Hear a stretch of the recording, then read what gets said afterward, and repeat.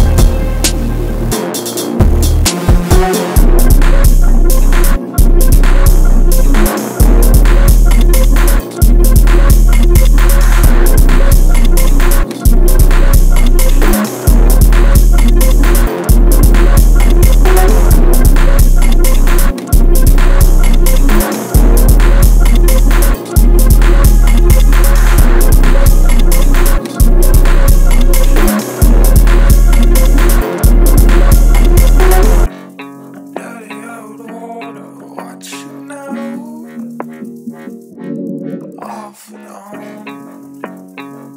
out loud the truth.